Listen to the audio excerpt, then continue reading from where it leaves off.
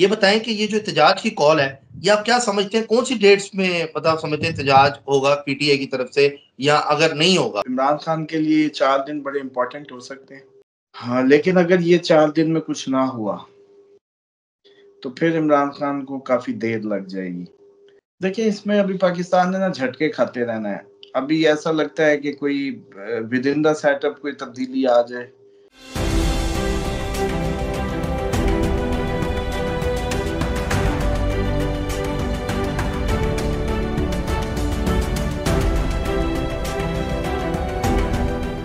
अस्सलाम वालेकुम, मैं हूँ फलक शेख और आप देख रहे हैं फलक शेख ऑफिशियल। हमारे साथ मौजूद हैं मोहम्मद उसामा अली स्टॉलेजर हैं इस्लामिक स्कॉलर हैं और बिज़नेस कंसल्टेंट हैं। स्क्रीन पर नंबर चल रहा है, कोई पर्सनल कंसल्टेशन लेना चाहता है तो इसलिए नंबर दिया हुआ है रहा कर सकते हैं।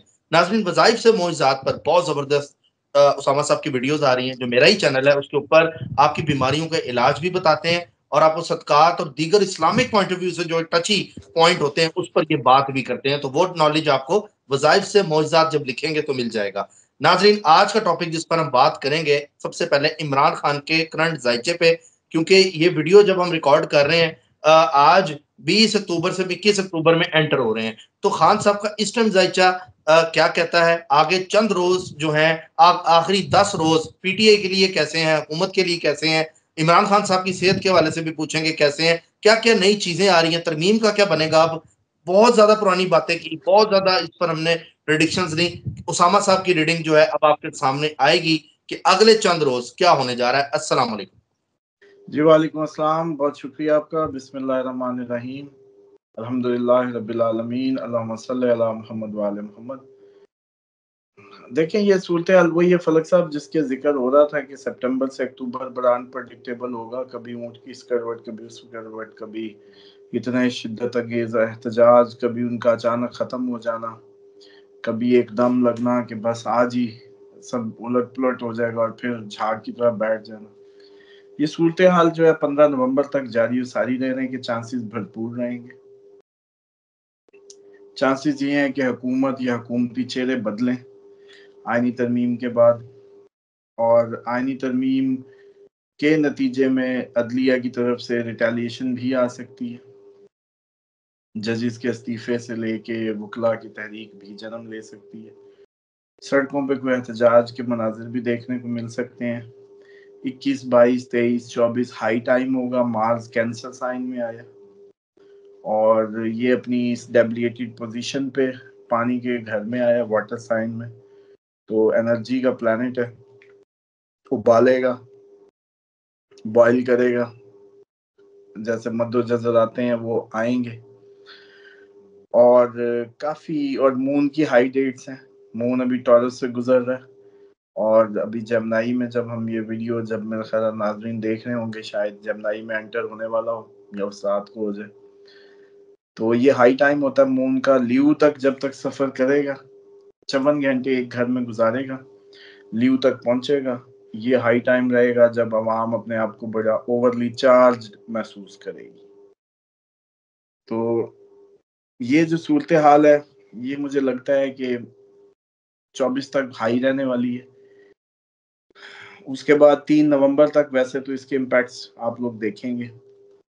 और जो ये मूवमेंट हुई है, बीस को जो मार्स कैंसर साइन में आया।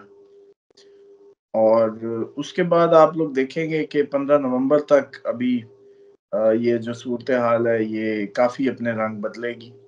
इसमें हुकूमत का गिरना, चेहरों का बदलना, कोई नया सेटअप अदलिया की रिटेलिएशन ये सारी चीज़ें बड़ा कुछ देखने को मिलेगा। आज जब ये मेरा ख्याल है वीडियो देख रहे होंगे, उस वक्त तक हो सकता है कि काफ़ी कुछ जो हम इसमें ज़िक्र कर रहे हैं, ये क्योंकि सारी बात है रिकॉर्डेड है तो पहले इस टाइम हो रहा हो। शायद ये वीडियो सुनते वक्त हो रहा हो कोई एहतजाज कोई मुजाहरे या कुछ भी इस तरह का। और ये सूरत हाल दिन ब दिन पाकिस्तान को टफ सूरत हाल की तरफ़ लेके जा रही है। अब आते हैं कि इमरान खान के जायचे की आपने बात की तो इमरान खान के लिए 20 से 24 ही ज़बरदस्त डेट है। उनका हाँ, यहाँ पे सवाल ये बताएँ कि ये जो एहतजाज की कॉल है ये आप क्या समझते हैं? कौन सी डेट्स में मतलब समझते हैं एहतजाज होगा पीटीए की तरफ़ से या अगर नहीं होगा? क्योंकि अमाद अजहर साहब का तो ये बयान आया था कि इसको रोका जाए। इस हवाले से जरा बताएँ क्या होगा ये जब आपकी वीडियो लोग सुन रहे हैं ना हो सकता है इस वक्त कॉल आ चुकी हो। अच्छा ठीक जी जिस टाइम आप ये लोग अभी हमारी वीडियो देख रहे हैं शायद कमेंट करके कह रहे होंगे जी आज की कॉल तो आ चुकी है। बादल हाँ, तो ये क्योंकि हम ज़ाहिर बात है एक लेट नाइट हम उसको कर रहे हैं सुबह इसको देख रहे होंगे लोग। तो एस्ट्रोलॉजी का यही फ़ायदा होता है ना कि वो चीज़ें बासी नहीं होती। और ट्रू एस्ट्रोलॉजी में कोई ज़रूरत नहीं होती आपको पुरानी होगी वीडियो और नई होगी कहने की क्योंकि वो तो पहले ही बनती है और मुस्तकबिल के बारे में ही तो होती है। और अगर इतनी गलतियाँ हो तो फिर हक ही नहीं है लोगों की उसको मेरा ख्याल है सुनने का कि आपने मेरी प्रिडिक्शन दी थी जबकि एक चीज़ एक क्वेश्चन था मेरा पर्सनल था तो सामा साहब ने फिर मुतलिक कहा था ये काम नहीं होगा अभी। मैंने कहा हम कोशिश कर रहे हैं। कहते अभी नहीं होगा। और आप यकीन करें, बनता बनता काम फिर रुका, रुकावट आई। मुझे एकदम सामा साहब याद है कि इनकी प्रिडिक्शन मेरे मुतलिक भी ये थी, क्योंकि हम अपना भी पूछ रहे होते हैं सामा साहब से। बहरहाल, ये टॉपिक तो नहीं है, लेकिन सामा साहब प्लीज़ बताएँ। जी तो उसके लिए मैं ये समझता हूँ कि इमरान खान के लिए चार दिन बड़े इंपॉर्टेंट हो सकते हैं। इक्कीस, बाईस, तेईस, चौबीस। ये मुझे लगता है उनकी आ, कहने को तो बहुत ज़बरदस्त हो सकते थे। इवन ऐसा भी हो सकता था कि शायद उनके लिए कोई रिहाई की सबील बन जाती। हाँ लेकिन अगर ये चार दिन में कुछ ना हुआ तो फिर इमरान खान को काफ़ी देर लग जाएगी। अब देखते हैं ये अब लोगों पे है क्योंकि इस टाइम देखें ये पब्लिक का प्लानिट और अदलिया का प्लानिट रेट्रोग्रेट होके मोशन दे रहा है उनको और उनको मजबूर कर रहा है कि उठो। अब खून में कितनी हिद्दत है। अब जारी बात है कि प्लानिट क्या करेंगे अगर किसी की टांगे ही ना हो। लोग अमूमन वो नजूमियों से पूछते होते थे ना जाके जब सॉरी वो पामिस्ट हजरात की बात हो रही थी। इल्म नजूम की नहीं है, क्योंकि वो कहेंगे खुद ही एस्ट्रोलॉजी को ही उसमें टॉन्ट कर रहे हैं। पामिस्ट्री में कहते थे कि जी जिनके हाथ नहीं होते, क्या उनके नसीब नहीं होते? भाई, मसला ये है कि जिसम के उस हिस्से पे जैसे अब किसी मुर्गा है, असील नस्ल हो, कलगी ना हो तो अब क्या वो असील नहीं रहेगा? ये वैसी बात है कि जैसे आप उसके खोल पंजे देख के पहचानता है कोई माहिर, किसी जानवर को या परिंदे को या किसी कुत्ते की नस्ल को या किसी उसको, या कोई स्पीशीज एनी आप उसके मार्च से पहचानते हैं उसको। धारियों से, कलगी से, पंजों से चीज़ तो सेम एज इट इज़ भाई, बात यह है कि अगर आप मुर्गे की टांगे नहीं होगी या कलगी नहीं होगी तो आप उसको पहचानेंगे नहीं, किसी बचपन के, किसी आदत की वजह से। तो ये वैसी बात है। तो असल बात यह है कि इसी तरीके से इस कौम के अगर टांगे ही ना हुई, इनके अंदर वो हुआ ही ना तो इसने क्या खड़े होना प्लानिट तो आके ज़ोर लगा ही जा रहे हैं। औरतें उठाने से लेके जो जो जुल्म से तम हो सकते हैं, जो जो ये सड़कों पे देख रहे हैं, बच्चों के साथ क्या हो रहा है सब। तो एज ए नेशन इनको जाग नहीं आ रही तो कोई अब क्या करेगा? ये ऐसे ही है जैसे फिर किसी अपाहज पे आके चाँद की चौधरी भी क्या करेगी? वो कौन सा चाबी उठाएगा और घूमने निकल जाएगा? पॉइंट समझ, मेरा मकसद किसी को दिल आजारी करना नहीं है, लेकिन मैं समझाना चाह रहा हूँ आप लोगों को कि एस्ट्रोलॉजी वर्क कैसे करती है। मतलब प्लैनेट्स आते हैं, ये अल्लाह का निज़ाम है, कोई इसमें उंगली नहीं कर सकता। यही खुदा के तवक्ल को हासिल करने का मैंने बेहतरीन ज़रिया पाया है। इससे इंसानों की गुलामी से इंसान आज़ाद हो जाता है और उसको ये यकीन हो जाता है कि ये निज़ाम जो खुदकार अपनी उसमें बह रहा है, कोई मालिक है जो इसको चला रहा है। तो ये जब आएँगे, मौसमों की तरह आपकी ज़िंदगियों में इम्पैक्ट करेंगे और अपना ज़ोर लगाएँगे और चले जाएँगे।